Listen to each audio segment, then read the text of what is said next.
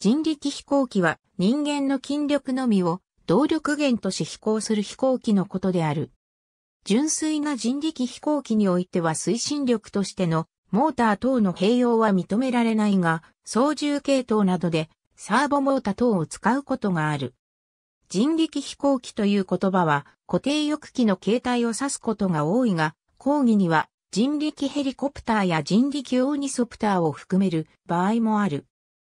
英語ではヒューマンパワードエアクラフトが用いられることが多いが、国際航空連盟の分類では、ヒューマンパワードエアクラフトは固定翼機である人力飛行機の他に人力ヘリコプターや人力オーニソプターも含む人力航空機を意味し、人力飛行機はヒューマンパワードエアプレーンズに分類される。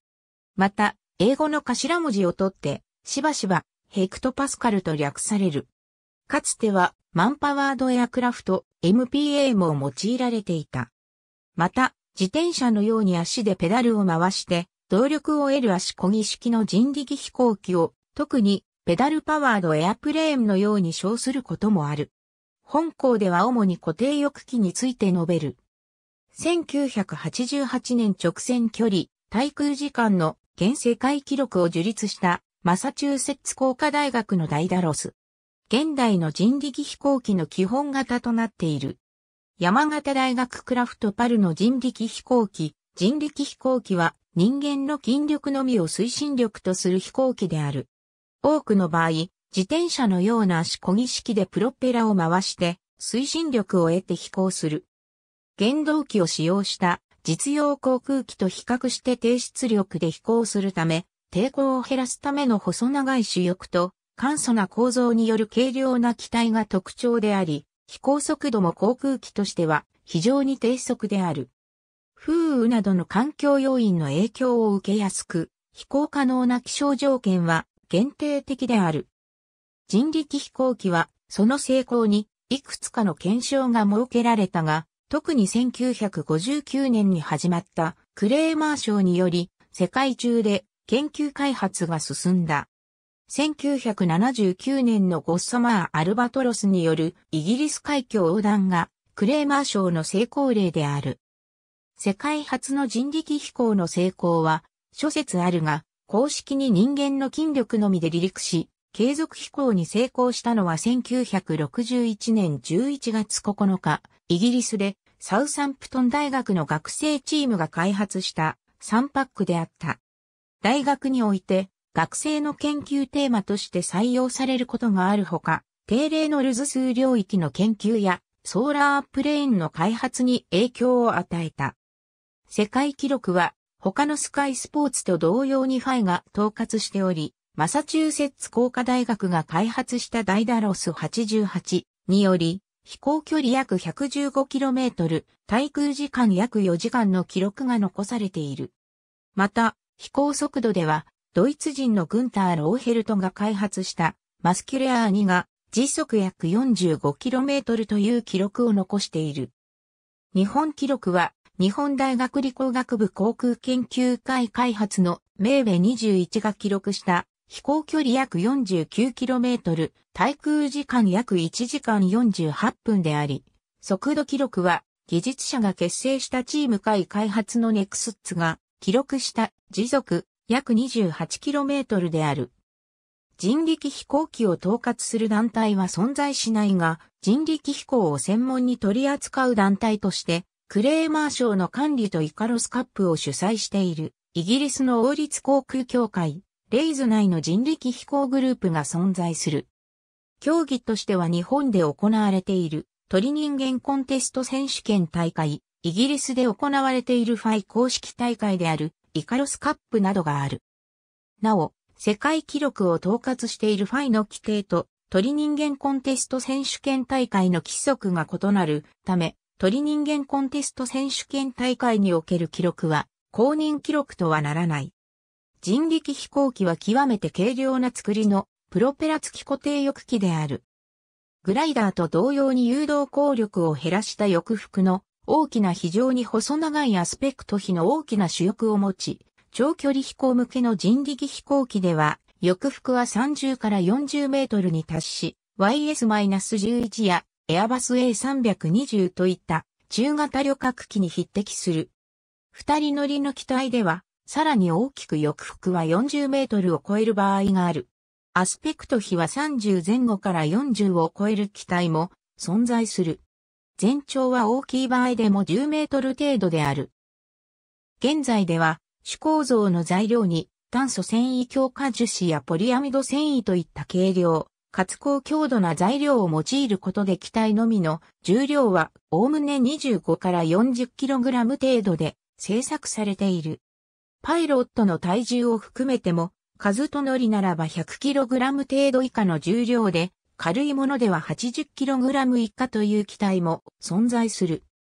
機体の材料には CFRP やポリアミド繊維の他に発泡スチロールをはじめとした発泡プラスチック、フィルムといった高分子材料、バルサなどの木材、アルミニウム合金などの軽量合金及び強度が要求される部位には一部ステンレスなどの金属が用いられる。機体の速度は目的によって異なり、低速な機体では空気に対する速度、すなわち大気速度が秒速5メートル程度から速度世界記録機の秒速12.5メートルまで存在するが、長距離飛行向けの機体で秒速7メートル程度、高速飛行向けの機体で秒速9メートル秒速11メートル程度であることが多い。飛行高度は通常数メートルであるが、これは人力飛行機の能力の限界ではなく、地上から離陸し130フィートまで上昇したという報告がある。それにもかかわらず低高度を飛行するのは、地面効果の利用、風の影響の低減及び安全面からの要請で、低高度を保つ利点が多いためである。これらは、高度が低いほど有利となるが、高度が低すぎると、風向き、風力の変化や体力消耗、旋回などによる高度損失に対して余裕を失うため、ある程度の高度を確保しておくことも人力飛行機の飛行においては重要である。人力飛行機の適切な高度は実際の飛行状況により異なり総合的に判断される。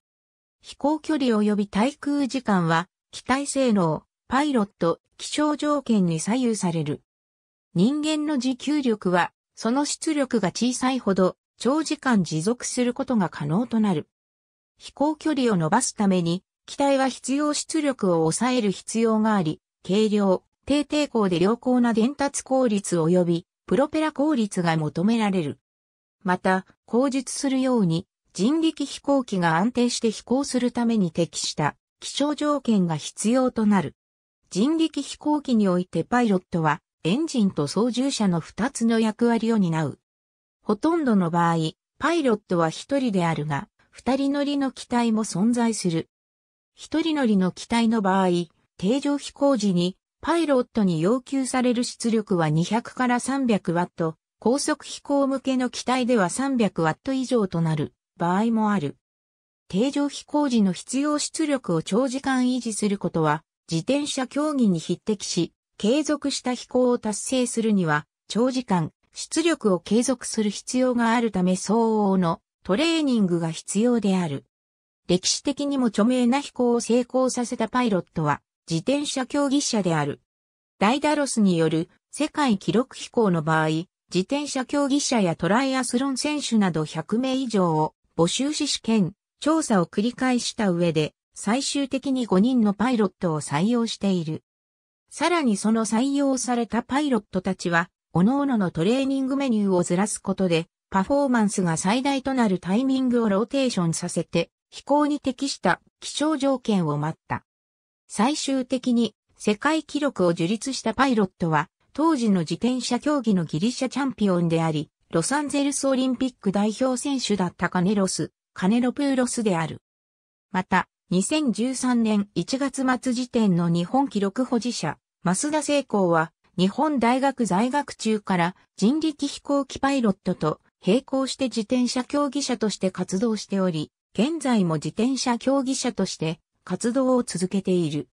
長距離飛行向けの機体では自転車競技と同様に、パイロットの飛行中の体力維持のために、水分、エネルギー補給用のドリンクや補給食を搭載する場合もある。ダイダロスでは、パイロットの生理学面の研究に協力したイーサン・レーデルをはじめとするイエール大学のメンバーとプロジェクトのスポンサーでもあった健康食品企業、シャクリー社により最大6時間に及ぶと考えられた飛行中のエネルギー補給のために専用ドリンク、イーサン・オールが開発された。また、パイロットの出力は足などの往復運動によって得られるため回転数や出力が脈動する。この脈動が人力飛行機には様々な悪影響を与える。一例として、プロペラの効率低下、機体の振動、チェーンドライブにおける伝達効率の低下が挙げられる。そのためパイロットは通常の自転車とは異なる極力脈動を抑えた漕ぎ方を習得することが望ましい。人力飛行機は他の航空機と異なり極めて軽量、かつ巡航時の待機速度が極端に遅いため、風の影響を非常に受けやすく、意図した経路を飛行させることは簡単ではない。さらに、機体全体を軽量に製作するため抵抗性となる傾向にあり、多くの機体で昇降だ、方向だ、場合によっては、補助翼やスポイラーなどの操舵面を有してはいるが、その操縦は長大かつ柔軟な人力飛行機特有の困難さがある。したがって安全かつ安定した飛行のためには、パイロットは体力トレーニングだけではなく操縦トレーニングを積むことが望ましいとされ、実際の操縦訓練方法としては試験飛行の他にグライダーやシミュレータによる訓練が報告されている。ダイダロス計画においては非常に身体能力の高いパイロットを採用したこともあり、主なトレーニングは操縦に関するトレーニングであり、グライダーから始まり、飛行機、シミュレータ、人力飛行機と操縦トレーニングを進めた。人力飛行機は降水や風といった天候の影響を受けやすい。降水は材料として用いられる木材や発泡材などの変形、変質による強度低下や吸水による重量増を招く。空力面においても主翼に採用されることの多い、総流翼型が表面の粗さや形状の誤差によって効力増加が顕著な性質を持つため、翼表面の水滴や霜の付着により、性能が低下する。長路の影響により、効力が約30%増加したという報告が存在する。航空機は一般的に風の影響を受けるが、特に速度の遅く、軽量な人力飛行機は影響を受けやすい。風速秒速5メートル以上の条件下では飛行不可能とも言われ、団体によっては風速秒速2メートル以上では飛行しないこともある。ダイダロスの記録飛行の場合も、計画段階で飛行に適した気象条件が整いやすい季節を選んだ上で、さらに現地で3週間以上風が穏やかな日を待ち続けている。また2009年に東北大学流体科学研究所の大林茂の元で実施された東北大学の学生団体、ウィンドノーツによる周回路飛行距離記録への挑戦では、CFD 解析システムを用いて飛行領域の気象予測が行われ、飛行経路設定の他にリスクマネジメントにも用いられた。人力飛行機は様々な国で研究、製作され、イギリス、南アフリカ、日本、オーストラリア、フランス、ベルギー、アメリカ、ドイツ、シンガポール、韓国、中国、オランダなどの国で人力飛行に成功している。人力飛行機の製作は大学など何らかの教育、研究機関に所属する団体であることが多いが、それ以外の団体による製作も報告されている。ダイバロスの開発チームが前者であり、飛行速度の世界記録保持機であるマスキュレアーニアゴッサマーコンドルの開発チームが後者である。日本の場合は学生が主体的に運営する同好会による人力飛行機の製作が盛んである。学生主体の団体は1年ごとに主要な人員が入れ替わるため、継続的な開発が行いにくいのが実情である。また、一部の大学では学生の卒業研究のテーマなど、研究対象として人力飛行機を採用している。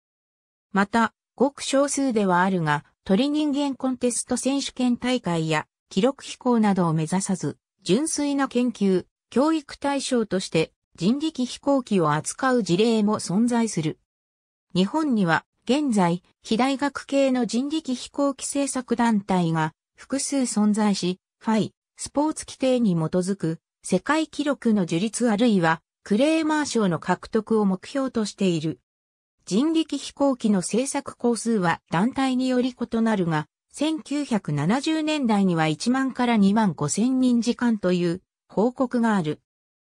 また現在では一例として学生団体では制作に約8000人時間、社会人主体の団体では設計、制作に約2000人時間、運用を含めたプロジェクト全体で約6000人時間という報告がある。ダイダロスの場合、プロジェクト全体で約17万人時間であった。ダイダロス計画では予備機も含めた制作費用は当時の金額で68万5千ドル、プロジェクト全体の直接経費は120万ドルに達し、アメリカ航空宇宙局、MIT、国立スミソニアン博物館、ユナイテッドテクノロジーズ社、シャクリー社、アンハイザーブッシュ社など50以上の企業、団体から提供された。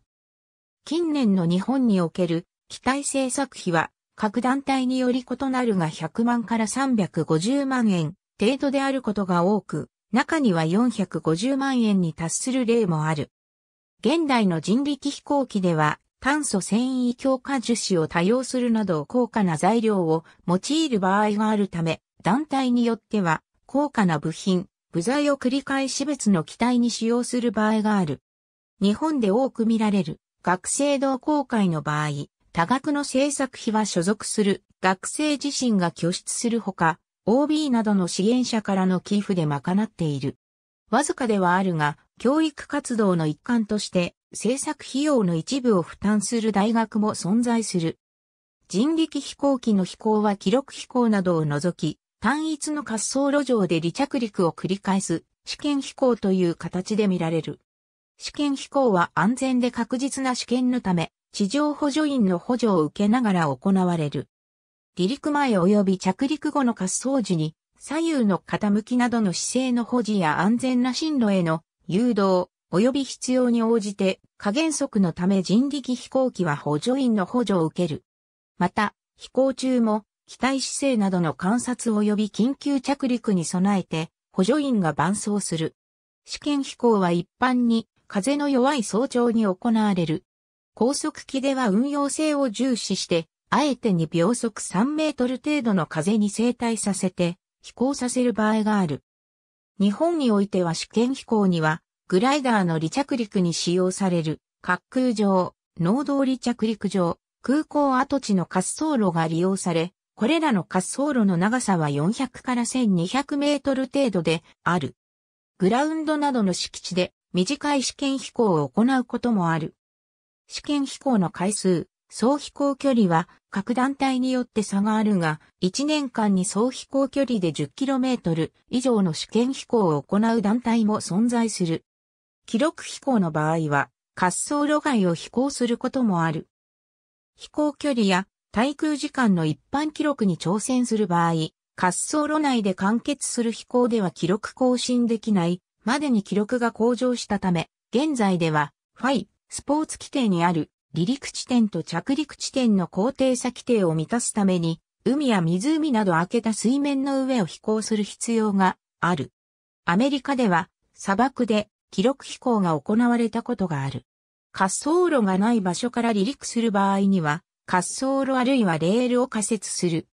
また、静岡県の富士川河口に存在する富士川滑空場の滑走路は海に隣接しているため、記録飛行の出発地点として使用されることがある。一方、速度記録は口述するように1500メートルの三角形コースを周回するため、コースの一辺を滑走路に沿わせることで離着陸を滑走路上で行うことが可能となる。実際、速度記録の日本記録は、農道離着陸場を利用して行われた。人力飛行機は、日本大学理工学部をはじめ、いくつかの大学において学生の研究テーマとして採用されている。人力飛行機に関する研究結果は、航空宇宙学会などで発表される例があるほか、日本航空宇宙学会の主催で1995年から毎年1回開催されているスカイスポーツシンポジウムにおいても主要な講演テーマに挙げられている。人力飛行機で得られた知見は空力分野では定例のルズ数領域の航空機であるという点から高高度を飛行する航空機や風力発電の風車の研究に活かされている。また非常に低出力で飛行可能な出力重量比が小さな航空機であるため、太陽電池を搭載したソーラープレーンの開発にも影響を与えており、ソーラープレーン分野の著名な飛行につながっている。例として、ポール・マクレディによるゴッサマー・ペンギンによる初の有人飛行やサンシーカーの北米大陸横断などが挙げられる。ダイダロスの原型機であるミシェロブ、ライトイーグルは後にオーロラフライトサイエンスにより修復、改造され7500メートル以上の高度における実験用無人ソーラープレーン、サンライトイーグルとなった。また、松下電機産業と東京工業大学及び同学同好会マイスターによって共同制作された世界初の乾電池有人飛行機、オキシフライヤーも人力飛行機を基礎としている。人力飛行機による競技は、各々の団体が個別に記録あるいは課題に挑戦する形態と複数の団体が開催地に集まる競技会の形態を取るものがある。前者は国際航空連盟スポーツ規定に基づく世界記録やクレーマー賞であり、後者が日本で開催されている鳥人間コンテスト選手権大会やイギリスで開催されているイカロスカップなどである。鳥人間コンテスト選手権大会を除くと、継続的に行われる競技会は報告されていなかったが、2012年にはイギリスでイカロスカップと名付けられた競技会が開催され、2013年にはファイ公認競技会としての開催が告知された。また、2012年には韓国でも人力飛行機の競技会が開催された。クレーマー賞を管理するイギリスの王立航空協会、レイズの人力飛行グループは、人力飛行機の基礎研究は終わり、スポーツとして飛行が行われるようなより一般的な航空機の段階へ進み始めたとしており、最終目標の一つとして人力飛行のオリンピック種目入りを目指している。現在はファイの記録分類において実験的、新技術に分類されており、各競技会の規定も、それぞれ独自に競技規定を設けて実施されている。なお、2004年のファイ会員国の航空スポーツ活動報告によると、人力航空機の競技参加人員数は450人である。公認世界記録、日本記録は、記録の一覧を参照のこと。1980年に人力飛行機に対する規定が制定され、以降、世界記録は、 FAI が認定を行っている。日本においては、他のスカイスポーツの記録と同様に、一般財団法人日本航空協会が、日本記録の認定、管理及び世界記録の申請業務を行っている。 FAI 公認記録として認定されるには、 FAI、スポーツ規定を満たす必要があり、現在は日本記録についても同様に、 FAI、スポーツ規定を満たす必要がある。ただし、人力ヘリコプター、有利の記録や人力オーニソプターのスノーバードの記録のように一部規定を満たさない場合であっても、参考記録として記録あるいは飛行が認定されることがある。ファイ、スポーツ規定に基づく人力航空機の定義と分類人力飛行機を含む人力航空機はファイ、スポーツ規定でクラス I に分類され、一人、またはそれ以上の搭乗し肉体運動のみの力で、離陸及び飛行を継続する重航空機と定義される。さらに、空気より軽いガスや温めた空気などで静的浮力を得ることや飛行中に動力を得ることができる装置の搭載が禁じられている。ただし、離陸後に肉体運動による力を蓄える装置を搭載することは許可される。クラス I の人力航空機は固定翼機である人力飛行機、回転翼機である人力ヘリコプター、羽ばたき機であるオーニソプターに分類され、さらにそれぞれについて飛行中の動力蓄積装置の有無を含めて以下のように細分化されている。種目と飛行規定それぞれの機種について次の種目の記録が範囲によって管理されている。このうち直線飛行距離と滞空時間を除く記録は飛行コースを事前に申告する必要がある。また、一部のサブクラスのみに設定されている記録として、人力飛行機、人力用ニソプターについては以下が存在し、人力回転翼機については以下が存在する。また、各々の記録について、すべての記録を扱う、一般部門と女性のみの記録を扱う、女性部門が存在する。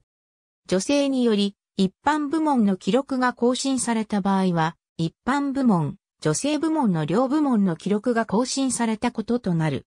飛行に関する規則は大まかに、平地から補助を一切受けない、自力発進により離陸すること、離陸地点と着陸地点が規定の高度最内に収まっていること及び飛行中に規定高度に到達することである。規定高度は、機種、種目により少しずつ異なる値が設定されている。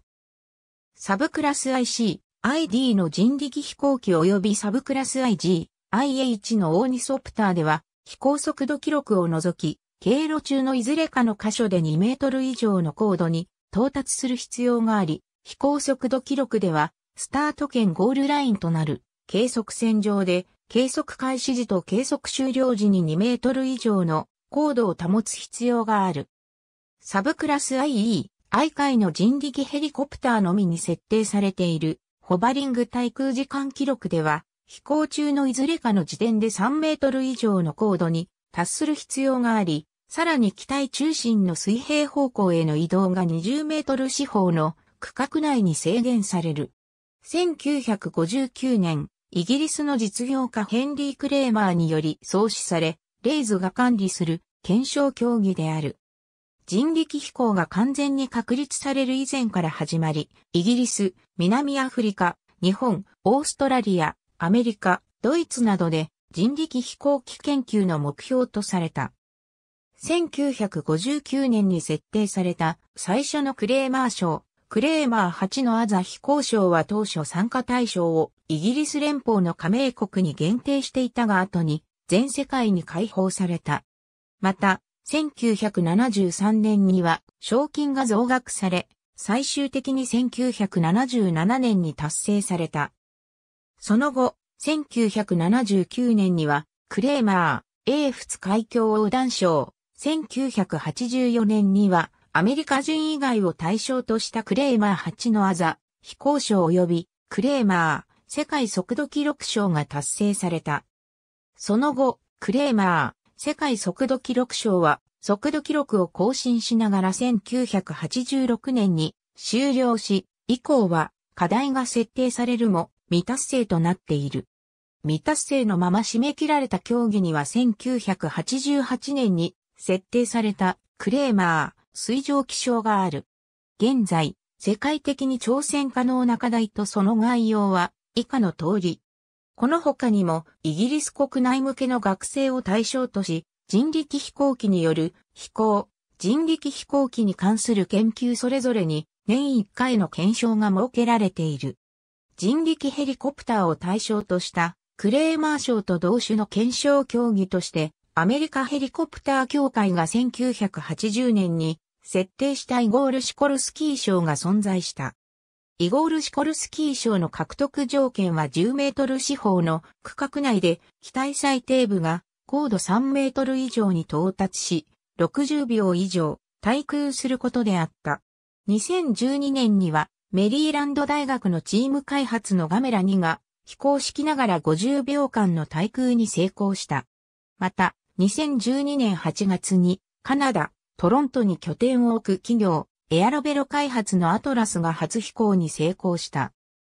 その後、ガメラ2とアトラスが繰り返し競技に挑み続け、最終的に2013年6月13日にアトラスが最高高度3.3メートル、対空時間64.11秒、飛行中の水平移動距離9.8メートルの飛行に成功。同年7月11日に AHS によってこの飛行による課題達成が認められ、25万ドルの賞金を獲得した。詳細は鳥人間コンテスト選手権大会を参照のこと。1977年から琵琶湖で開催されている読売テレビ放送株式会社主催の機械的動力を持たない自作人力飛行機を用いたバラエティ番組制作を目的とした競技会である。空を飛ぶという人間の夢を実現させ、広く一般視聴者に航空機に対する関心の高揚に寄与することを願うものとされる。競技は主に書類選考を通過し、一般参加者によって制作されたパイロットの安全な飛行、着水を最優先に設計された人力飛行機で行われる。出場にあたって出場者は、読売テレビ放送株式会社作成の誓約書及び番組演出上の依頼に同意しなければならない。1986年に開催された第10回大会から、プロペラ式の人力飛行機による独立した部門が設けられ、2012年に開催された第35回大会では、人力飛行機独自の部門として飛行距離を競う人力プロペラ機ディスタンス部門とターンマークと称する部位の周りを旋回、帰還するまでの工程 1km の飛行時間を競う。人力プロペラ機タイムトライアル部門で競技が実施された。いずれの競技も動力を持たない滑空機部門と共用となる高さ10メートル、傾斜角3.5度のプラットフォームと称する発進台から数メートルの滑走の後に人力飛行機を落とし、飛行距離、または飛行時間を競う人力プロペラ機ディスタンス部門で用いられる飛距離の計測方法は三角測量を基本とするが、1000メートル以上の飛行では発進台と伴走線に取り付けられた GPS 受信機を用いて計測される。人力プロペラ機タイムトライアル部門では競技中に2度の時間計測が行われる。一度目の時間計測は、スタートライン通過からターンマークを旋回し、スタートラインから500メートル先のターンラインと称する、線上を通過した時間の計測であり、中間タイムと呼ばれる。二度目の時間計測は、スタートライン通過から旋回し、ゴールラインを通過した後に、ゴールラインから湖岸側に150メートルの範囲で設けられた着水ゾーン内に着水するまでの時間の計測であり、ゴールタイムと呼ばれる。ゴールタイムにより順位が競われるが、ゴールライン未達の場合は中間タイムで競われる。なお、中間タイムによる順位決定の場合、賞金は半額となる。両部門とも上位3チームには賞金が贈られる。2012年の第35回大会の場合、両部門とも1位から順に100万円、30万円、20万円が送られた。機体の制限は寸法、重量については規定されていない。ただし、機体は自作である必要がある。また、構造についてもパイロットが即座に離脱可能かつパイロット及び第三者に対して安全な構造であることが必要であり、車輪の切り離しなど飛行中に付属品を落下させることも禁じられている。パイロットについてもいくつかの制限が設けられている。パイロットには年齢制限があり、18歳以上である必要がある。20歳未満の場合は保護者の同意書が必要となる。また、パイロットは泳げなければならない。飛行については、湖面上に限定され、陸上及び湖岸近傍などが飛行禁止区域に設定されている。また、湖面上であっても救護ボートの航行が困難あるいは禁じられた区域、橋梁などの構造物、船舶などの周囲が飛行禁止区域に設定されている。着水またその後の回収、運搬作業によって程度の差はあれど、人力飛行機の構造が破壊される。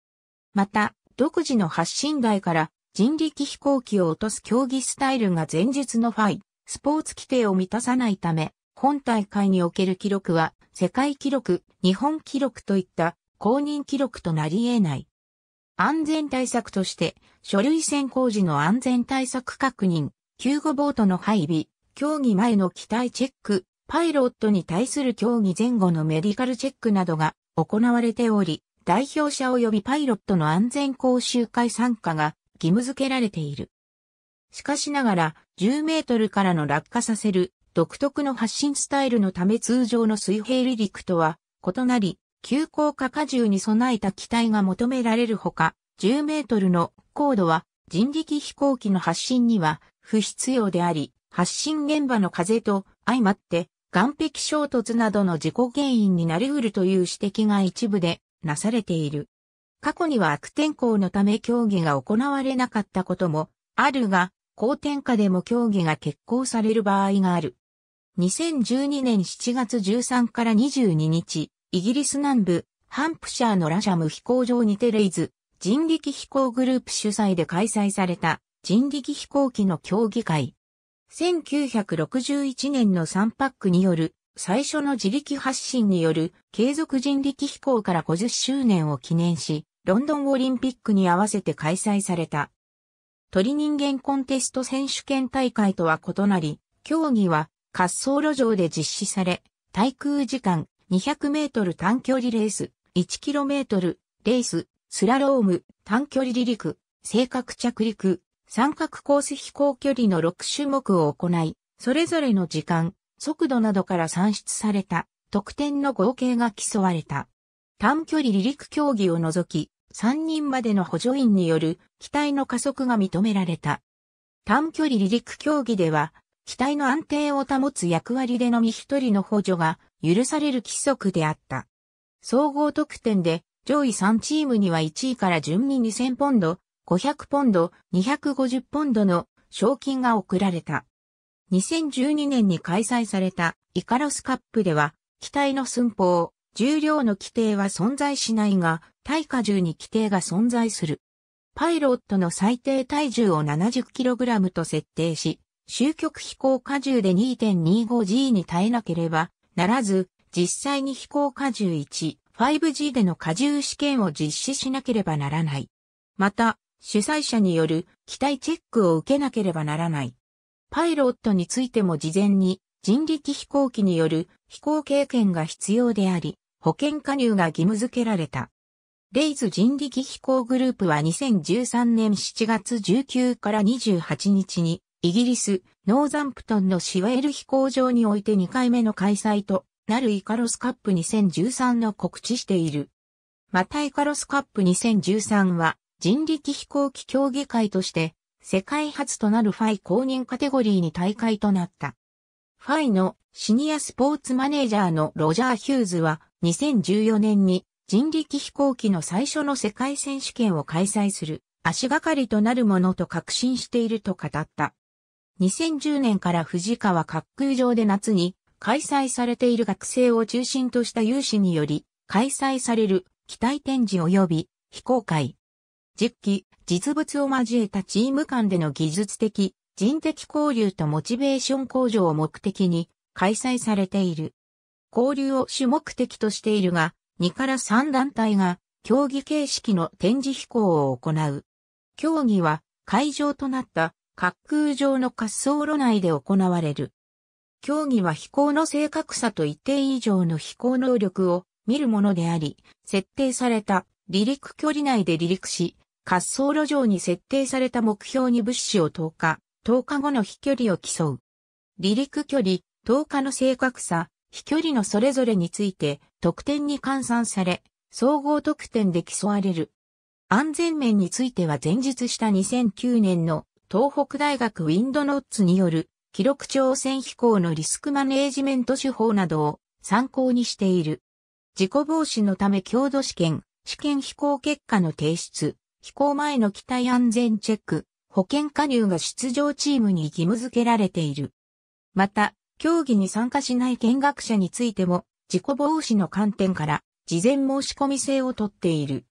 人力飛行に対して、フランス、ドイツ、イタリア、ソビエトでいくつかの検証が設定され、それらを契機に人力飛行機の開発が各地で行われた。人力のみによる持続的な飛行には至らなかったが、いくつかは一定の成功を収めており、最初の人力飛行とされるものもある。フランスにおける試み自転車競技のチャンピオンで、プジョー賞獲得者、ガブリエル・プーラン。1912年にフランスでロベール・プジョーによりプジョー賞という人力飛行の検証が始められた。これは距離10メートル以上飛行と1メートル以上の高度に達する人力のみによる飛行に1万フランの賞金が贈られるものだった。この検証への挑戦に用いられた装置はアビエットと呼ばれた。開始から9年後の1921年7月9日に自転車競技のチャンピオンだったガブリエル・プーランがフランスのニューポール社で開発されたアビエットで挑戦した。4回の試行で最大飛距離12.22メートル、最大高度約2.4メートルの跳躍に成功し、プジョー賞を獲得した。ガブリエルはそれまでにも、プジョー賞に挑戦していたが10メートルには届かず、この日は6度の迎え角をつけたことで成功を収めた。プジョー賞を獲得した際のアビエットは上下及び前後にずらした2枚の翼を取り付けた自転車であり、プロペラのついた飛行機ではなかったが、人力のみによって翼を用いた離陸にした例である。その後、新たなプジョー賞としてプロペラ付き人力飛行機による50メートルの飛行に2万フランの賞金がかけられた。ガブリエルは再びニューポール社で新しいプジョー賞に向けた機体製作を宣言したが、この機体は製作されることなく、また他の挑戦者も新しいプジョー賞を達成することはなかった。アメリカにおける試み、アメリカではミシガン大学の航空工学部長だったフレデリック・ガーハートが設計し、オハイオ州のマーコック基地で製作されたサイクルプレーンと呼ばれる人力飛行機が1923年に距離6メートル、高度60センチメートルほどの跳躍に成功した。サイクルプレーンは7枚の主翼を持つ多容器で、ビブには、操舵可能な水平、垂直の角尾翼が配され、牽引式のプロペラが機種に取り付けられていた。プロペラは足でペダルを回転させる動力を用いて回転させ、推進力を得ていた。ドイツにおける試み1925年にグライダーの発達が進んだドイツにおいて、グライダー協会であった RHN ロシッテンゲゼルシャフトが100メートルの人力飛行に4000マルクの賞金をかけた。グライダーの開発者らが人力飛行機の開発を行い、当時の人力飛行の最長記録となる20メートルの飛行に成功したが、100メートルには届かず、獲得者は現れなかった。エンゲルベルト・ゼシカの人力飛行機。飛行には至らなかったが、キングポストから貼られた朝鮮によって高アスペクト比の主翼を保持する構造は、後の人力飛行機によって正しさが証明された。また、飛行には至らなかったが、1928年にドイツ人技術者であったエンゲルベルト・ゼシカが単用で牽引式プロペラを備えた人力飛行機を製作した。この人力飛行機は朝鮮と交換を用いて、翼幅20メートルに及ぶ高いアスペクト比の主翼を実現しており、後の人力飛行機に通じる構造を持ったものであった。しかしながらこの機体は4人の力で所定の飛行予定速度まで加速させても浮上することはなかった。HV-1 無振り1930年代最高性能を持った人力飛行機の一つ。その後、1933年になってフランクフルト工業会が500メートル離れたパイロンを周回する人力飛行に5000マルクの賞金をかけた。この賞に対してしばらく挑戦者は現れなかったが、1935年にヘルムート・ハスラーとフランツ・フリンガーが開発した HV-1 ムフリ、マスケル・フリーガーの略。英語のヒューマン・パワード・フライヤーに相当が挑戦した。1935年8月30日、公式記録会でゴム型バルトによって離陸したムフリは235メートルの飛行に成功し、課題未達成ながらも3000マルクの賞金を獲得した。これにより本来の賞金は1万マルクに増額された。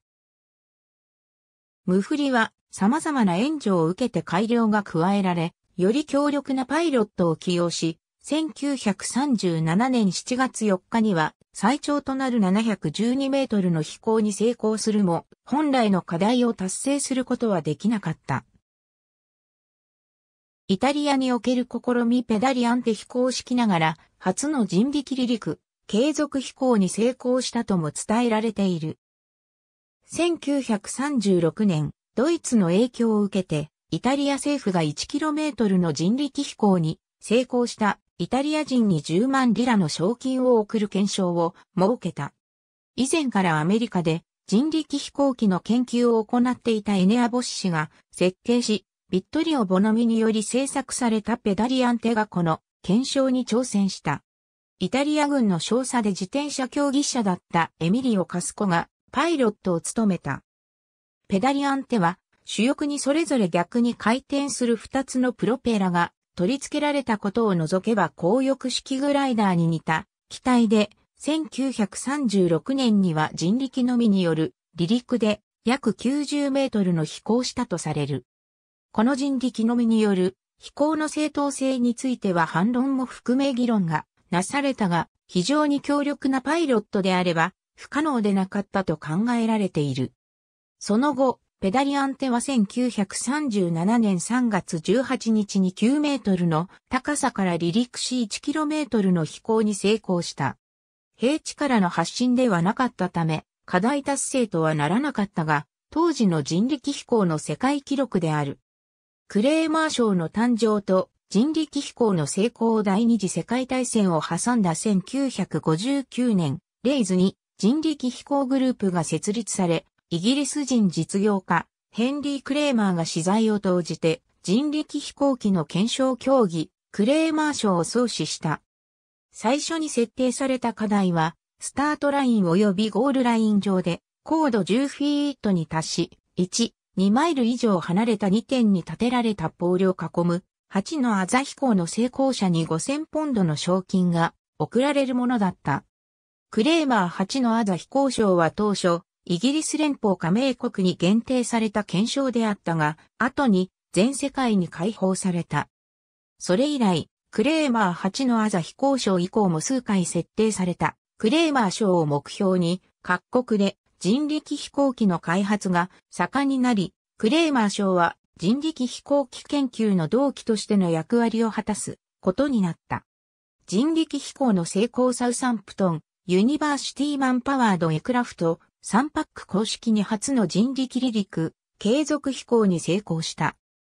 1960年から翌1961年にかけてクレーマー賞獲得を目指し、 RAeS から支援を受けたイギリスのサウサンプトン大学のチームにより、 Southampton University Man Powered Aircraft SUMPAC が開発され、1961年11月9日にイギリス、ハンプシャーのラシャム飛行場において平地からの人間の筋力のみによる発進、離陸及び継続飛行に成功した。パイロットはグライダーの指導員であったデレク・ピジョットだった。この日の飛行距離は正確な計測はなされなかったが、パイロットの推測として50から70ヤード程度だったと報告されている。現在では、これが完全な人力飛行の最初の例とされる。全く同時期に同じクレイズから支援を受けたイギリスの名門航空機メーカーで、ハビラエアクラフト社の従業員が中心となり、結成されたハットフィールド人力飛行機クラブにより、パフィンが開発され、3パックに遅れることわずか1週の11月16日に初飛行した。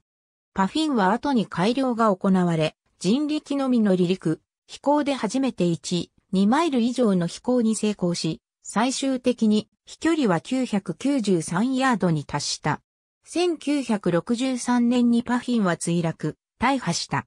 回収されたパフィンの駆動系統を使用し、再設計された機体、パフィンには1965年に飛行に成功した。パフィンから主翼面積の拡大、翼型の変更などが行われたが、期待された性能向上は得られなかった。ただし、旋回については人力飛行機として初めて180度旋回に成功した。日本における人力飛行機開発の始まり日本では当時日本大学の教授であった木村秀正が1961年末に3パック、パフィンの成功に着想を得て、1963年から学生の卒業研究として人力飛行機を取り入れた。1966年2月27日にリネット1が岡宮宗隆の登場により日本初の人力飛行に成功した。この時の飛距離は15メートルであった。この成功は3パック、パフィン、パフィン2に続く世界で4例目の人力飛行となった。このリネット1を皮切りに、日本大学ではほぼ1年に1機のペースで人力飛行機が製作されることとなる。また、日本大学の成功を契機に、日本においても人力飛行機開発が活発となった。この中で、グライダー設計者として、著名な前田健一が設計し、福岡第一高等学校航空機関科の手により制作された佐藤前田式 SM-WOX は1969年に初飛行に成功し、1971年には最長となる69メートルの飛行に成功した。日本大学の同時期の機体であるリネットシリーズに続く2例目の成功であり、同時にリネットシリーズにも劣らない記録を残した。ジュピターによる世界記録の更新1972年初頭までに、日本で5機、イギリスで4機、オーストラリアで1機の計10機が人力飛行に成功した。1972年にパフィンの持つ世界記録は再びイギリス人によって更新された。後にジュピターと呼ばれることになるその機体は1963年にクリス・ローパーが設計し、レイズの支援の下で多くの協力者と共に制作された。1968年にローパーが体調を崩し中断されたが、1970年から当時イギリス空軍隊員であったジョン・ポーター式の下で制作された。1972年に完成したジュピターは6月29日に1171ヤードを飛行し、当時の世界記録を樹立する。また、飛行式には1355ヤードの飛行にも成功した。最長飛行記録時のパイロットを務めたポーターは、滑走路の末端に達したため着地したに過ぎず、体力の限界だったわけでないとし、15kg から 20kg ほど軽量化できれば問題なく8の朝飛行を達成できると述べた。新材料、新形態への挑戦後に人力飛行機に欠かせない材料となる炭素、繊維強化樹脂を初めて使用した機体が1972年、イギリスのペーター・ライトによって開発された。ライトはビーズ砲発泡スチロールやポリ塩化ビニール発泡体を補強する目的で炭素繊維強化樹脂を用いた。当時の人力飛行機としては最大級の主翼面積を持ちながら非常に軽量な機体であった。この機体は駆動系統に問題を抱えていたが最長で270メートルの飛行に成功している。この頃になるとパワーウェイトレシオの観点から二人乗りの人力飛行機が開発されるようになった。1972年12月にはイギリスで二人乗りの当艦が初飛行に成功し、これが二人乗り人力飛行機の初の成功例となった。当艦は1973年12月に最長となる700ヤードの飛行に成功した。また、アメリカでは飛行には至らなかったが、MIT の学生によりバードの人力飛行機が約1000メートルの飛行に成功した。この機体は42メートルの主翼を持ち、多数のストラットや挑戦で合成を確保していた。アメリカでの初飛行は1976年にジョセフ・ジーノが開発した人力飛行機オリンピアン ZB-1 が距離30メートル、高さ30センチメートルの飛行に成功した。ストーク B による世界記録樹立次なる世界記録の更新は日本で達成された。卒業研究として人力飛行機の研究を継続していた日本大学で1975年にジュピターを参考にした新たな人力飛行機ストークが開発が始まった。ストークはそれまでの日本大学で開発された機体と比べて大幅な軽量化と空力的な洗練がなされた機体であった。完成したストークは1976年5月には600メートルを超える飛行を達成した。その後の旋回飛行挑戦においてストークは損傷したが修復、改良がなされ、1976年11月24日にストーク B として再び初飛行に成功した。ストーク B は1977年1月2日には日本航空協会公式立会人立ち会いのもと、加藤隆の登場で2093.9メートル、4分27秒、8の飛行に成功当時の世界記録を更新した。パイロットの加藤は滑走路に制限されなければ、さらに長距離の飛行ができたと主張した。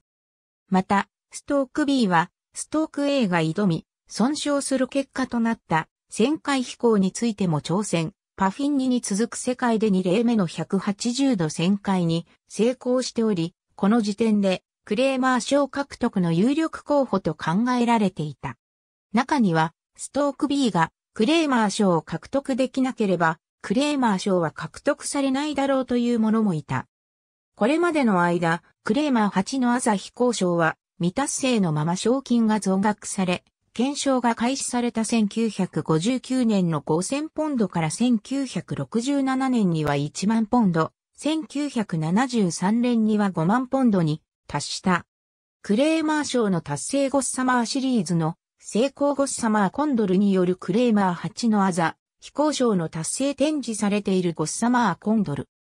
日本大学でストーク B が開発された1976年、グライダーのチャンピオンとして有名だったアメリカ人、ポール・マクレディもまたクレーマー8の朝飛行賞に挑戦するために自らが立ち上げたエアロバイメント社のメンバーと共に人力飛行機ゴッサマーコンドルの開発に着手した。マクレディはハンググライダーの重量をそのままに27メートルまで翼幅を拡大できれば人力飛行が可能であると計算した。そのコンセプトを実現するために考案された機体は、それ以前の人力飛行機に多かったアスペクト比の大きな主翼を持ったグライダー風の機体ではなく、高体格のついた巨大な主翼と垂直尾翼を兼ねた背の高いコクピットを持った先尾翼型の形態で、多数の朝鮮が張り巡らせたアルミニウム管の骨組みに、フィルムを貼った簡素で、軽量な構造であった。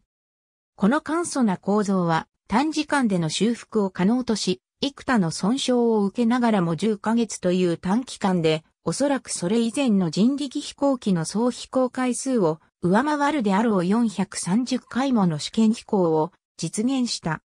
また規則は、おそらくそれまでの人力飛行機の中で最も遅く、同時に翼面荷重が非常に小さく、同世代の人力飛行機の半分以下となる機体だった。ゴッサマーコンドルは1976年10月に初めての試験を行い、試験飛行を重ねながら空力的改善、構造的改善がなされた。旋回飛行においては、様々な手法により数多くの試行がなされたが、通常のソーダ法では達成されなかった。しかし、計画初期からの協力者であったジャック・ランビーの助言によりエルロンソーダ時のアドバース用を利用した旋回法の確立に成功した。最終的な機体はソーダのために、機体先端のカナード翼を傾けることで、通常の飛行機の方向打の代わりとし、主翼には翼端をひねる形式のエルロンが装備された。そして1977年8月23日に、ゴッサマーコンドルはアマチュア自転車選手であったブライアン・アレンの登場で、1、2マイル離れた2点を囲む8のアザ飛行を達成、クレーマー8のアザ飛行賞を獲得した。これを実質的な人力飛行の初成功とする場合もある。ゴッサマー・アルバトロスによるクレーマー、海峡横断賞の達成試験飛行中のゴッサマー、アルバトロス。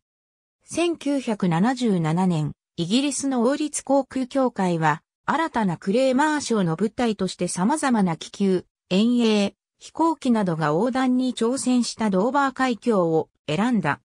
このクレーマー、海峡横断賞には10万ポンドの賞金がかけられた。先のクレーマー8のアザ飛行賞を達成したポール・マク、レディはゴッサマーコンドルを基礎として、炭素繊維強化樹脂と当時の最先端素材であったポリアミド繊維を材料に取り入れ、新プロペラ設計法によるプロペラを採用した新機体、ゴッサマーアルバトロスを完成させた。デュボン社の協力で新素材を使用することに成功し、ゴッサマーアルバトロスはゴッサマーコンドルよりも軽量でありながら空力的に洗練された構造が可能となった。また高効率となったプロペラはパイロットの疲労を抑え、飛躍的に飛行時間を伸ばすことに成功した。そして1979年6月12日にゴッサマーコンドルの飛行と同様にブライアン・アレンの登場でドーバー海峡の横断に成功し、クレーマー、英仏海峡横断賞を獲得した。飛行距離は 35.8km、飛行時間は2時間49分だった。なお、後のダイダロスの研究において、この飛距離と対空時間は、機体の必要出力とパイロットの持続可能出力の観点から同期の性能限界であったとされる。銅がポール・マクレディによって2つのクレーマー賞が達成された後、人力飛行機の開発はやや下火になった。そこで1983年に新たなクレーマー賞が設けられた。またスカイスポーツを統括する国際航空連盟により人力飛行機の公式規定が制定され、1980年1月1日から統一された規定の下で記録が管理されるようになった。二つのクレーマー賞と世界初の人力旅客飛行に成功したマスキュレアー・ゴッサマー・コンドルの成功の直後にアメリカ人以外を対象としたクレーマー8のアザ飛行賞が設定された。アメリカ人以外を対象としたクレーマー8のアザ飛行賞はドイツで3機の機体が争ったほか、日本でも日本大学のミランシリーズが獲得を目指した。1981年にミラン81が開発され、試験飛行が行われた。1982年にはさらに改良を加えたミラン82が製作され、旋回を含めた距離約1400メートルの飛行し、達成、8のアザ飛行の3、4まで成功した。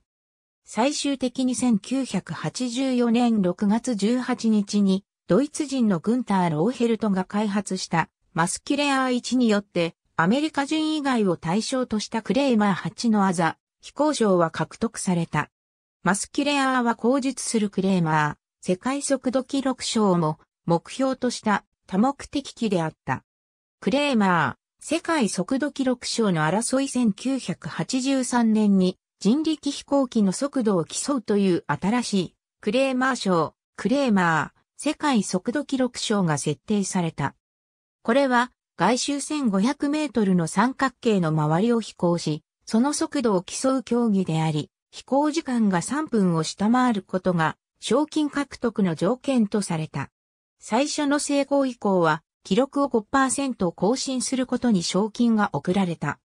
この競技では、現在の FAI、スポーツ規定外となる飛行前のエネルギー蓄積が許されており、実際に受賞した機体の半数はエネルギー蓄積装置を搭載していた。また、日本大学の内藤研究室においてもクレーマー、世界速度記録賞への挑戦機として、スイフトシリーズが3機開発されたが、これら機体にもゴムを用いたエネルギー蓄積装置が搭載されていた。クレーマー、速度記録賞は1984年から1985年にかけて初達成と記録更新が相次ぎ、十分な記録に達したため予算の増額は見送られて1986年に打ち切られた。最初の達成は1984年4月、MIT のチームが開発したモナーク B でエネルギー蓄積装置を搭載していた。7月には、ポール・マクレディのチームが開発したエネルギー蓄積装置搭載機であるバイオニックバットが記録を更新し、クレーマー、世界速度記録賞2度目の受賞となった。8月には前日のアメリカ人以外を対象としたクレーマー8のアザ飛行賞を獲得したマスキュレアーが記録を更新し、クレーマー、世界速度記録賞3度目の受賞となった。マスキュレアーはエネルギー蓄積装置を搭載しておらず、モナーク B やバイオニックバットのおよそ2、3の出力で記録更新に成功した。12月には再び、バイオニックバットが速度記録を更新して、クレーマー、世界速度記録賞4度目の受賞となった。世界速度記録保持機マスキュレアーに1985年になって、グンター・ローヘルトは、マスキュレアを交通事故により失い、これを契機に純粋な速度記録機として、マスキュレア2の開発に着手した。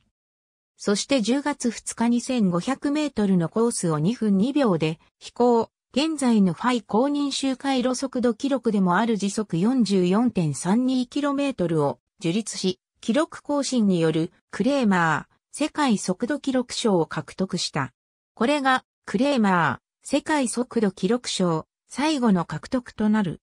当初3分に設定されたクレーマー世界速度記録賞の目標タイムがおよそ1年半の間に2、3まで短縮されたことになる。マスキュレアーには前身であるマスキュレアー同様エネルギー蓄積装置を搭載しない機体であり、その優れた空力設計は口実するダイダロスとともに、後の人力飛行機に大きな影響を与えた。人力旅客飛行の成功1984年10月2日に、マスキュレアーは飛行性能を示すために、航空省において動力として機能しないパイロット以外の乗客を乗せた旅客飛行に世界で初めて成功した。ただし優勝ではなく、無償旅客飛行。乗客はパイロット、ホルガー・ローヘルトの妹であるカトリン・ローヘルトであった。この時の飛行は飛距離500メートル、高度5メートルの飛行だった。ダイダロス計画1970年代のバード、バード2に始まった MIT の人力飛行機開発は1979年に服用機のクリサリスで初飛行を達成した。そしてモナーク B によるクレーマー、世界速度記録賞獲得の後の1985年、ギリシャ神話に登場する皇人、ダイダロスとその息子、イカロスの神話に倣ったクレタ島からギリシャ本土まで人力飛行する計画、ダイダロス計画が開始された。神話の解釈、機体シュール、飛行性能、気象条件から飛行ルートが決定され、最終的にクレタ島からサントリーニ島までの約 115km を飛行する計画となった。試験飛行を行うダイダロスの試作機、ミシェロブ、ライトイーグル。機体、パイロット、気象など様々な方面での約1年半に及ぶ事前研究の後の1986年6月、ダイダロスの原型機となるミシェロブ、ライトイーグルの製作が開始された。ミシェロブ、ライトイーグルは MIT の学生と教員ら18人の手によって1万5000時間を費やし完成され、同年10月に初飛行に成功、飛行試験を開始した。ミシェロブ、ライトイーグルを用いて、操舵性能など、記録挑戦に必要な様々な試験が行われたほか、1987年1月には4つの世界記録が樹立された。ミシェロブ、ライトイーグルは優秀な機体であったが、それでもまだ計画に必要な飛行距離、飛行時間を達成するためには必要出力が大きすぎた。ミシェロブ、ライトイーグルで得られた知見をもとに、必要出力を低減した記録機、ダイダロスが製作された。ダイダロスは改良された新翼型でシリーズの採用や構造、材料の改良などによりミシェロブ、ライトイーグルから 10kg 近い軽量化を達成した。1機目のダイダロス、ダイダロス87は試験飛行において飛行式ではあるが、ゴッサマー・アルバトロスの記録を超える飛行も成功させ、記録飛行への準備を整えていった。また、ダイダロス A の試験飛行の間に2機目のダイダロス、ダイダロス88の製作も続けられた。1988年2月、試験飛行中にダイダロス87は墜落、搭乗していたパイロットは無事であったが機体は激しく破損した。その11日後、ダイダロス88が試験飛行に移行し、入れ替わりにダイダロス87の修復が開始された。3月下旬、修復を終えたダイダロス87、試作機のミシェロブ、ライトイーグルと共に記録挑戦機、ダイダロス88はギリシャに輸送された。ギリシャ到着後、飛行準備が整ってからおよそ3週間、飛行に適した気象条件を待ち続けた。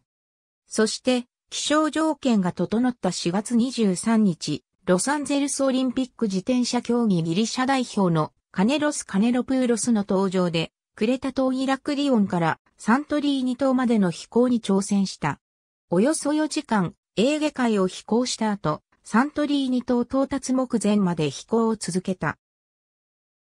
ダイダロス88は、強風下の着陸のために、風と整体する方向となる、サントリーニ島の海岸に対し平行に進路を取ったところ、海岸の砂浜で温められた風を受け、主翼及び後部胴体がねじれて接損、サントリーニ島の地に届くことなく、海岸から約9メートル手前の海面に墜落、着水した。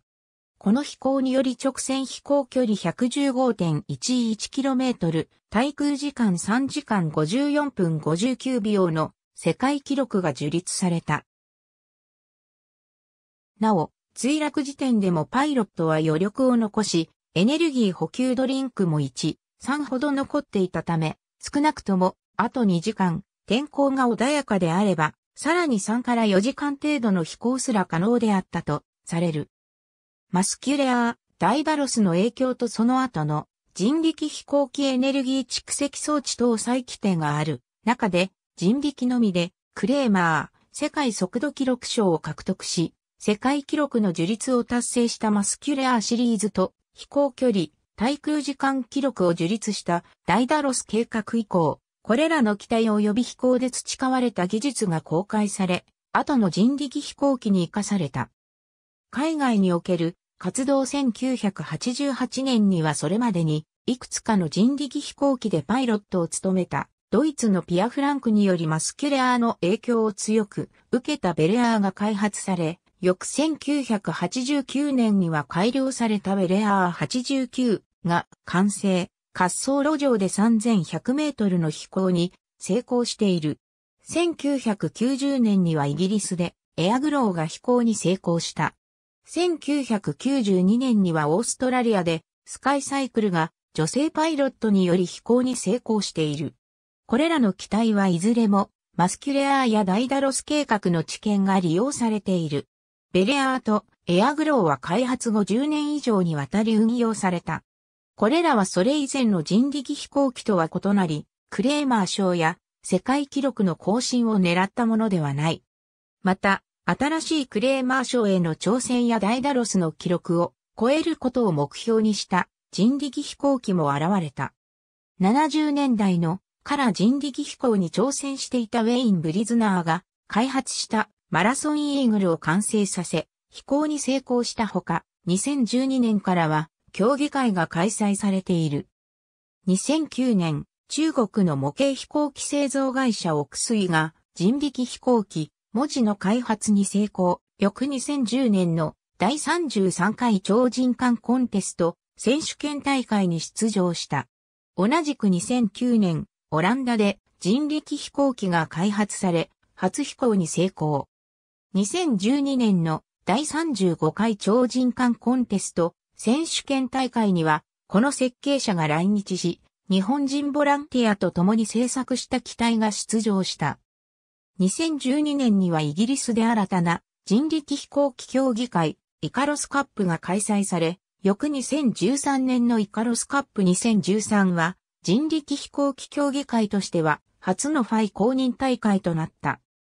日本における活動庁人間コンテスト選手権大会日本では1977年から始まった読売テレビのバラエティ番組鳥人間コンテスト選手権大会において人力飛行機による記録更新が進み、1986年には人力飛行機専門の部門、人力プロペラ機部門が開設された。1986年に512メートルであった優勝機の飛行距離は、1992年には 2km を超え、1996年には 10km 目前に迫った。1998年には 23.6km を記録して会場である琵琶湖の対岸に到達するに至った。記録はさらに伸び、2003年には3チームが 20km 超の飛行を実現し、優勝機は彦根市から琵琶湖大橋までの 34.6km を飛行した。その後、ルール改正により折り返しによる距離計測が認められるようになり、2008年には 36km の飛行が実現した。2006年からは従来の飛距離を競う部門の他に速度を競う人力プロペラ機タイムトライアル部門が開設された。速度と機動性が問われる競技であり、2012年に平回路飛行速度日本記録を樹立した機体は2010年の人力プロペラ機タイムトライアル部門の優勝機である。2019年現在、人力プロペラ機ディスタンス部門と滑空機部門が行われている。最高記録は人力プロペラ機ディスタンス部門で第42回大会の 60km、滑空機部門で第35回大会の501.38メートルである。公認記録への挑戦平地からの離陸が必要な FAI、スポーツ規定にのっとった日本航空協会が1分を超える滞空に成功した。そして2013年6月13日にカナダのトロント大学から生まれたベンチャー企業エアロベロが開発したアトラスが、到達高度3.3メートル、対空時間64秒の飛行を成功させ、シコルスキー賞は彼らにより獲得された。なお、鳥人間コンテストにおいて2001年から2003年の3回ほど人力ヘリコプター部門が存在していたことがあったが、同コンテストのレギュレーションでは人力ヘリコプターはほとんど全く現実的でないこともあり、過去に存在したコミックエントリーにおけるパラシュート的な造形物により対空時間を少々稼ぐものという程度の期待にとどまっていたため、記録も初回のものが最も長く、回を重ねるにつれ対空時間が短くなっている。人力オーニソプター2010年にはトロント大学の学生チームにより開発された人力オーニソプター、スノーバードが自動車による牽引で離陸後、羽ばたきにより19.3秒の継続飛行に成功した。人力航空機のファイ公認世界記録を示す。人力航空機の JA 公認日本記録を示す。鳥人間コンテスト選手権大会における記録については、鳥人間コンテスト選手権大会を参照のこと。ファイスポーツ規定セクション11を満たしていない参考記録である。人力飛行機は競輪選手並み動力を用いているため、低出力での飛行を可能にする低抵抗で軽量な機体が望ましいが、低抵抗に仕上げるための空力的要請と軽量に仕上げるための構造的要請が相反することがしばしばある。多くの人力飛行機は主翼、フレーム、プロペラ、コクピット、尾翼に分かれ、その他に機体を操作するための操舵系とプロペラに回転力を伝達する駆動系が存在する。またさらに細かく見ると、主翼は単用の高翼式で、プロペラは単発のトラクター方式であることが多い。これは世界記録保持機であるダイダロスの構造に倣っていることが多いためである。本校ではダイダロスを模した人力飛行機に用いられる構造を中心に小述する。主翼の構造は大きく瞬げたリブ、外皮の3つに分けられる。これらの構造で主翼が生じる空力の作用に耐え、主翼の機能を維持しなければならない。主翼に生じる揚力、効力はそれぞれ上下、前後方向への曲げの荷重を発生させる。また、揚力、効力の分布によりねじりの荷重が発生する。これらの荷重は同じ主翼であっても、向かいかけや速度によって異なる大きさとなるため注意が必要である。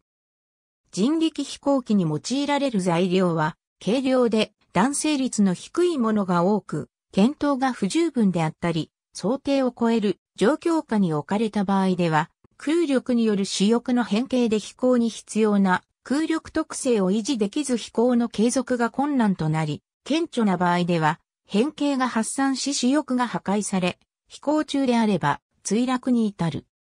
主翼にエルロンやスポイラーを設置する機体があるが、構造的に主翼は合成が低い傾向にあるため、それらの操舵面の設置により、エルロンリバーサルのような直接的問題、あるいは可動部設置による合成低下のような間接的問題を生じる可能性がある。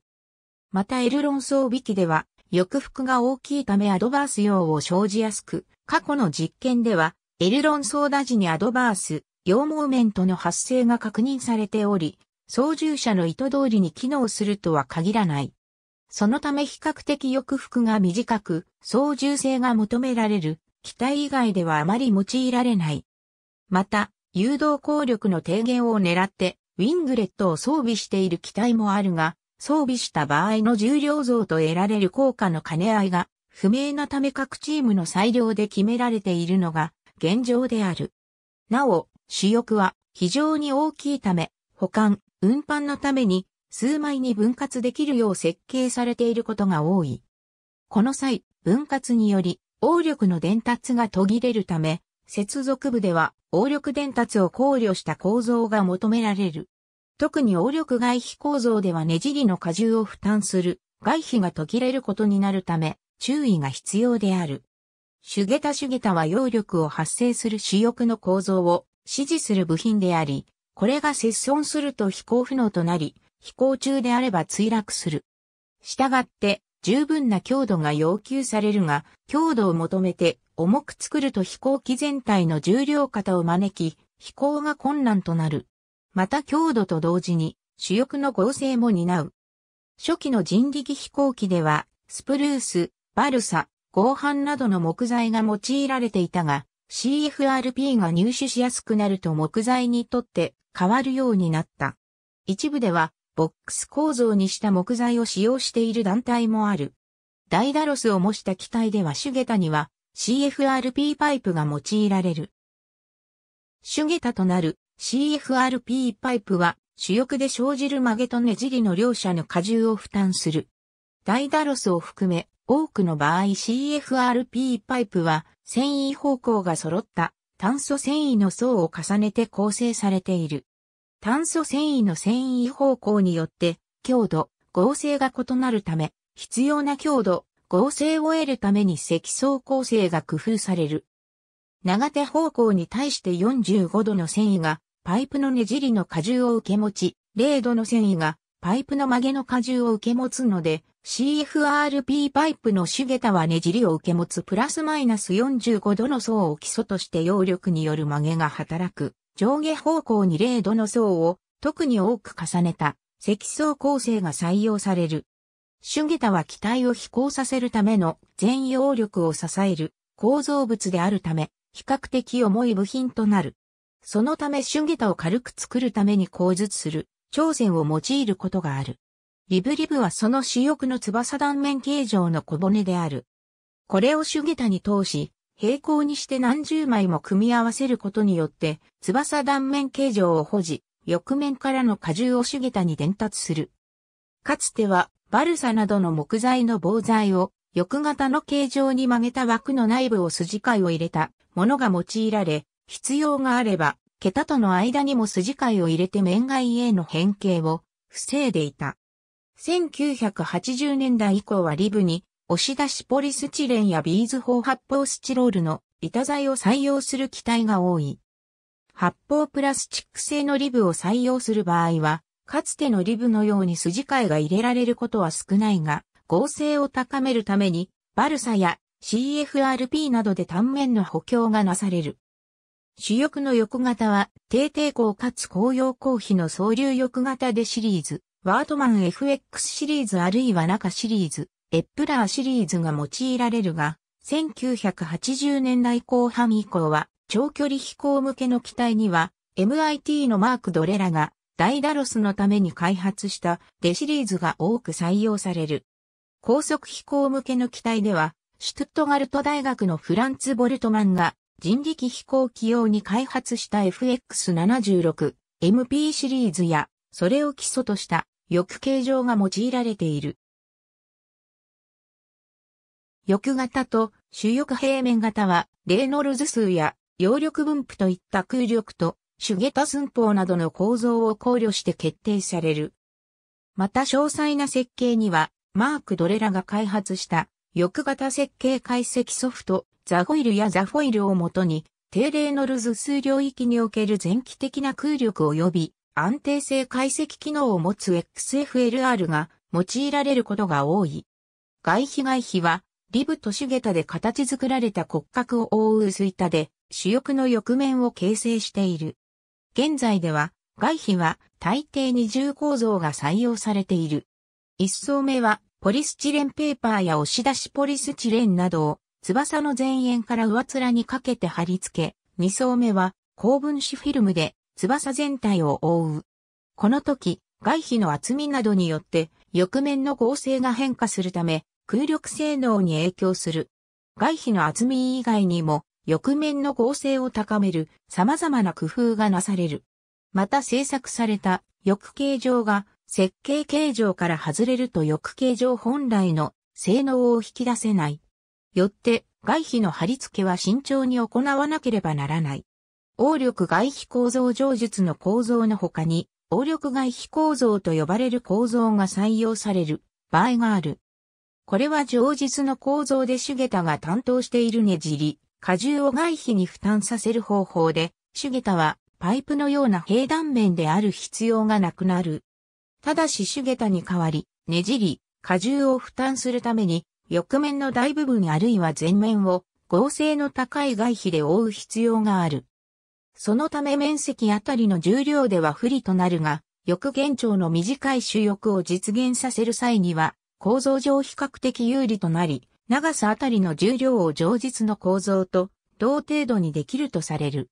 また、応力外皮化することで、主翼合成の大幅な向上が見込めるため、エルロン装備時のエルロンリバーサルなど、合成不足による不具合を解消することが期待できる。実際の採用例としては、主翼面積が小さく、翼限長が短くなりやすい速度記録機や、大アスペクト比の主翼がある。朝鮮の利用誘導効力低減のために、機体重量に対して翼腹の大きな主翼を持つことが人力飛行機の特徴であるが、シュゲタなどの機体内部の構造だけでは十分な強度、合成を得られない場合がある。朝鮮の利用は、主要構造にかかる負荷の一部を朝鮮に分担させることで長大な構造を実現するものである。ただし、朝鮮は機体外部に露出するため空気抵抗の増大につながる。初期の人力飛行機は重量が重く、必然的に比較的速い飛行速度で設計されていたため、朝鮮の空気抵抗を嫌い採用例は少なかった。しかし、ゴッサマーコンドル、ゴッサマーアルバトロスの成功によりその利点が広く認められるようになった。材料の進歩によって、朝鮮なしでも長大な翼を製作することが可能となったが、シュゲタの負担する荷重を減らして、シュゲタの軽量化を図る目的で利用される。現在においても、長距離飛行向けの機体では、長い手桁を軽量に仕上げるために、朝鮮を用いる場合があり、多くはダイダロスに習い上下1体の朝鮮を用いる。上側の朝鮮を着陸張り線、下側の朝鮮を飛行張り線と呼び、それぞれ着陸時、飛行時に荷重を分担する。素材には、ピアノ線、ステンレスワイヤー、ポリアミド繊維などの高強度材料が用いられる。着陸張り線は、機体中心の主翼上に、ほぼ直立したキングポストと呼ばれる柱で支えられており、キングポストを中心に、左右の主翼上面にワイヤーが張られる。飛行張り線はほぼ主翼直下に位置する、コクピット下部から左右の主翼下面にワイヤーが張られる。飛行時、長い主翼のあらゆるところで生じる揚力により、シュゲタを上へ曲げようとする荷重がかかる。この荷重は胴体と接続される翼根部に近づくにつれて急激に増大する。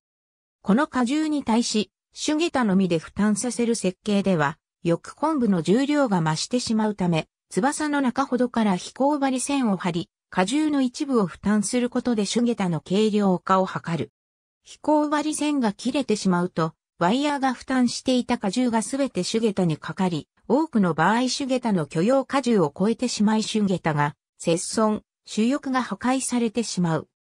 また、飛行針線は、コクピット最下部に取り付けられることが多いため、踏みつける危険性があり、飛行針線が張られているときは常に注意を払う必要がある。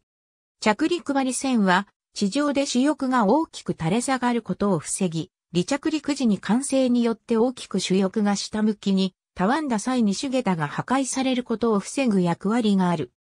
前述の通り、いずれの挑戦も主桁の軽量化に役立つ一方で空気抵抗を生じるため、軽量化による必要出力の低減と空気抵抗による必要出力の増加を天秤にかける必要がある。空気抵抗のうち形状効力は速度の事情に比例するため、一般的に巡航速度の大きな高速飛行向けの機体では採用されない傾向にある。また、朝鮮を持つ機体では上、帰り図を調整するために、朝鮮の長さを変更する方法が採用されることがある。フレームは機体を形作る上で最も重要な要素の一つである。長大な主翼、操舵力を生む尾翼、プロペラと動力を伝達する駆動系などを接続し、一つの機体として運動させるため、合成の確保と軽量の両立が求められる。フレームも主翼同様に保管、運搬のために分割できる構造であることが多い。初期の人力飛行機では、胴体は構造的にはコクピットのフレームと表面はコクピットを覆うフェアリングと連結されており、木材による骨格にフィルム、スチレンペーパー、紙などの外皮を貼った構造が多く用いられた。ゴッサマーアルバトロス以降は CFRP などのパイプがそのまま胴体として利用される場合が多くなった。また、合成や強度が不足する場合は、主翼同様に朝鮮が用いられる場合もある。コックピットはアップライト型、リカンベント型を問わず、フレーム構造で形作られることが大半である。材料はかつては金属であったが、CFRP が普及してからは CFRP パイプが用いられる。CFRP パイプ同士の接合部には、ハンドレイアップ積層法によってカーボンのクロスを積層させ、強し接合していることが多い。パイロットが登場する部位であるので安全性も考慮されなければならない。また、駆動系が設置される基礎であるので高い強度、合成の要求される。パイロット姿勢パイロットがペダルを漕ぐ姿勢の違いで、アップライト型とリカンベント型の二つに大きく分けられる。アップライト型は通常の自転車と同じようにまたがってペダルを漕ぐスタイルで空気抵抗は大きくなるものの、パイロットにとっては自転車に乗っているようなスタイルとなるので大きな力が出しやすい。リカンベント型は背もたれに寄りかかって漕ぐスタイルで空気抵抗が小さく周りのフェアリングによりさらに空気抵抗を小さくすることができるので、空気力学上は大きな効果があるが、パイロットにとっては全く逆になる場合が多く、漕ぎづらく大きな力も出せないことが多い。ただし、ダイダロスにおける研究では、ベテランの自転車競技者においては、両者の出力効率に差はないと結論付けられた。また、鳥人間コンテスト選手権大会において、解説を務めた木村秀正は、リカンベント形式について、一定の出力を長時間持続させることに適している、旨のコメントを残している。フェアリングコクピットの周囲を覆うフェアリングは、空気抵抗を小さくするために重要である。一方で飛行中に、パイロット自身から生じる熱により、パイロットの体力が奪われるため、コクピット内の換気を行うなどして冷却し快適に保つ必要がある。空気の取り入れ口、排気口の位置形状面積などを適切に設定しないと必要以上の空気抵抗の増加を招くため結果的に必要出力の増大を招きパイロットを苦しめることとなる。日本の人力飛行機は鳥人間コンテスト選手権大会を意識した機体が多く、同大会の規則にある緊急時におけるパイロット脱出可能な構造を実現させるため、強度はコックピットのフレームに全てを持たせ、フェアリング自身は緊急時のパイロットの脱出を考慮してビーズ砲発泡スチロール、バルサ、フィルム等の軽量かつ脆弱な材料が使われる。一方、ダイダロスやマスキュレアーニといった世界記録保持機では飛行中にフェアリングが受ける風圧による変形で空気抵抗が増加することを防ぐため、より変形しにくい複合材料が用いられている。上下安定を保ち、昇降打の役目を持つ水平尾翼と左右安定を保ち、方向打の役目を持つ垂直尾翼の二つに分けられる。構造としては主翼と変わらない。実用機と異なり、合成確保や構造簡略化のため尾翼はどちらも全可動式である場合が多い。安定を保つ上で最も重要で、尾翼容積比と呼ばれるパラメータが参考にされる。翼形状には水平尾翼、垂直尾翼ともに、中0009などの対象翼型が多く用いられているが、水平尾翼については安定性や発信性能の向上のために非対象翼型が用いられる場合もある。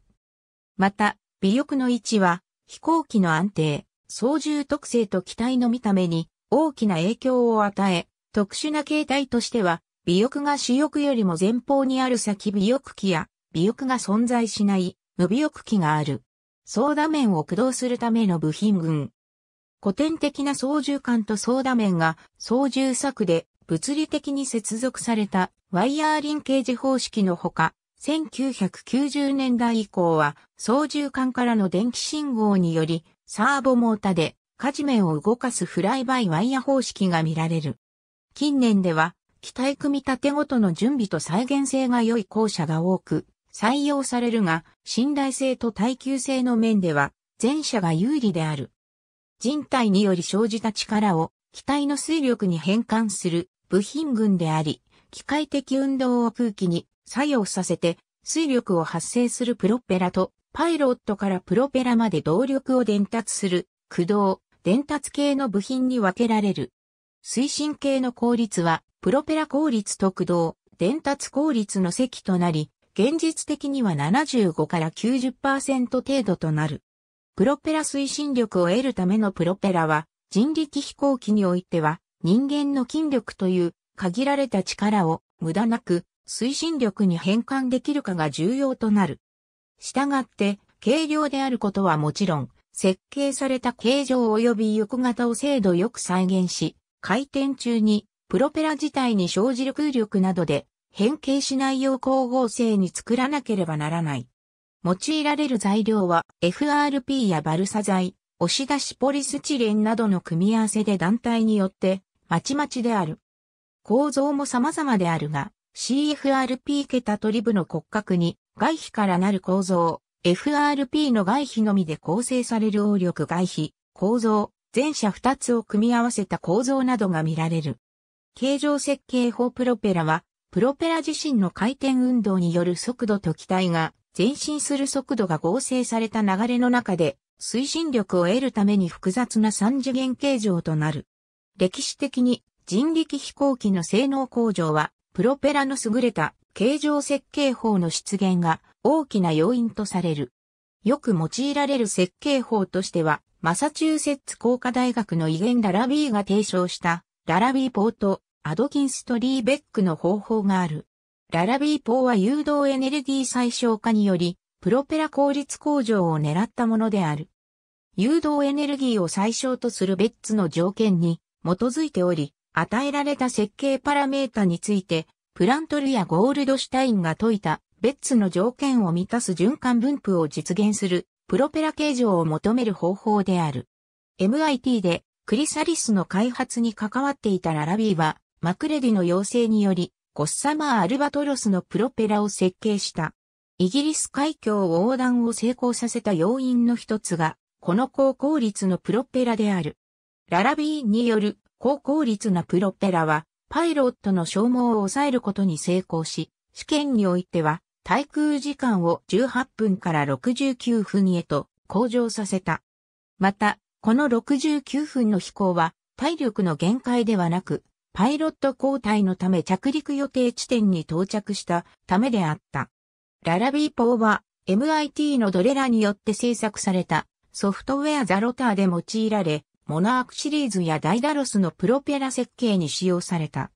アドキンスとリーベックの方法はララビーポーの派生型であるが、基本的な考え方はララビーポー同じである。アドキンスとリーベックの方法は航空宇宙技術研究者の論文で BASIC による実装が公開されており、人力飛行機のプロペラ設計法として広く利用されている。前述の通り、ララビーポート、アドキンストリーベックの方法はいずれも必要な水力に対して誘導エネルギー損失を最小化する設計法であり、人力飛行機のような低レノルズ数領域で影響が大きくなる形状効力による損失を考慮していないという欠点を持つ。また、プロペラ交流上の渦により生じるプロペラブレードの各断面の誘導速度を考慮して各断面上の空力性能を計算する渦法と呼ばれる計算法があり、近年ではこの渦法と非線形最適化手法を用いた JAXA の原田正史が提唱する低レーノルズ数、領域向けのプロペラ設計法や三次元境界要素法によるプロペラ設計も提案、実践されている。配置プロペラの位置は、ダイダロスでは機種に取り付けられる、牽引式が採用されており、現在の日本の人力飛行機では一般的である。一方で機体の最後尾、または主翼直後に取り付けられる推進式の機体も見られる。牽引式は、リカンベント形式との組み合わせで、駆動部を軽量コンパクトにまとめることができるが、空力的にはプロペラにより加速され、乱れた交流が主翼やコクピットに当たるため空気抵抗が増加し、プロペラの水力に損失が出る欠点を持つ。一方、推進式は駆動伝達部が大きくなりがちで重くなりやすく損失が大きくなりやすいが、プロペラの交流が機体や主翼に当たらず空気抵抗が少なく、高いプロペラ効率を維持できる利点を持つ。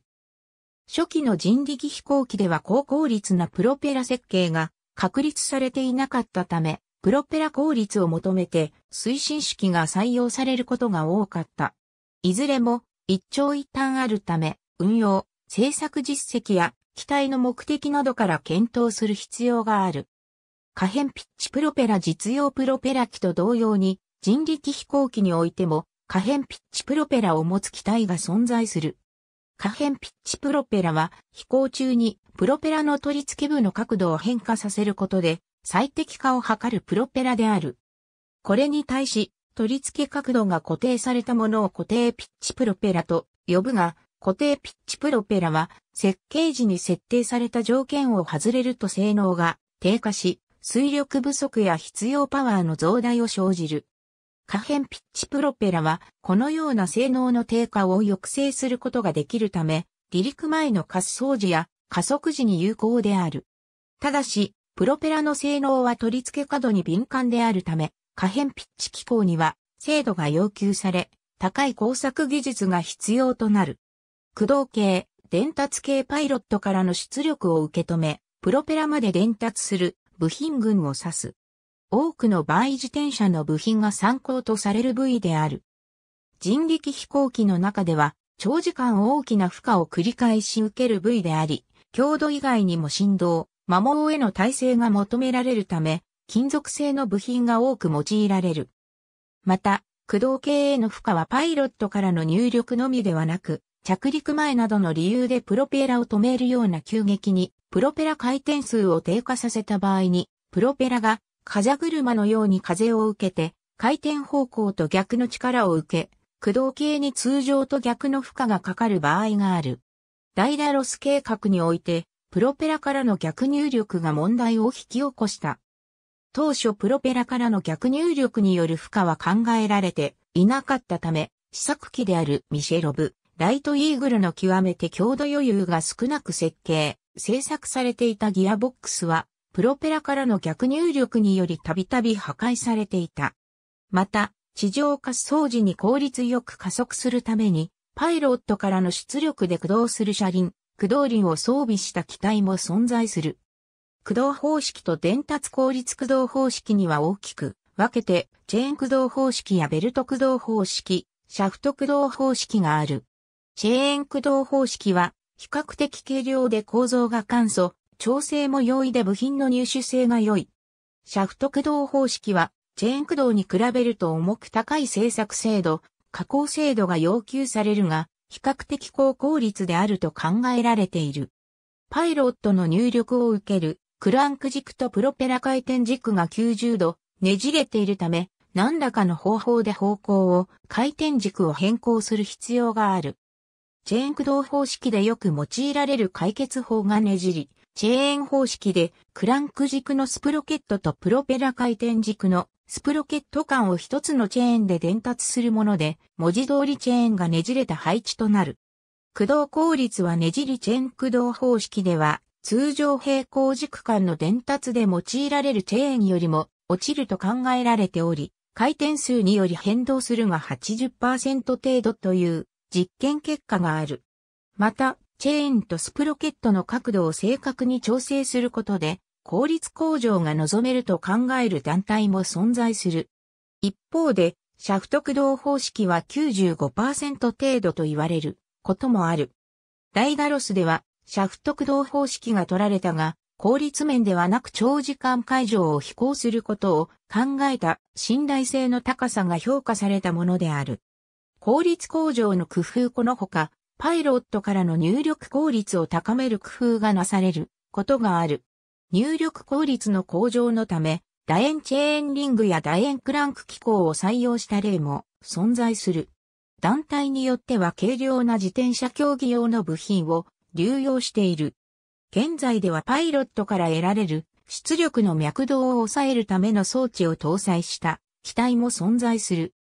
エネルギー蓄積装置1980年代前半に人力の運動エネルギーを蓄積する補助動力の人力飛行機への搭載を認める国際規約が一時的に認められ、実際に日本大学でゴム動力併用の人力飛行機が製作されたこともあるが、すぐに撤廃されている。飛行の必須装備ではないが、飛行時の様々な情報を得るための計器が搭載される場合がある。得られた情報は、機体の調整や新しい機体の設計に反映される。搭載される計器としては、回転数計、待機規則計が積まれることが多い。その他、加速度計、高度計、打角計、姿勢指示計、心拍計、GPS などが搭載される。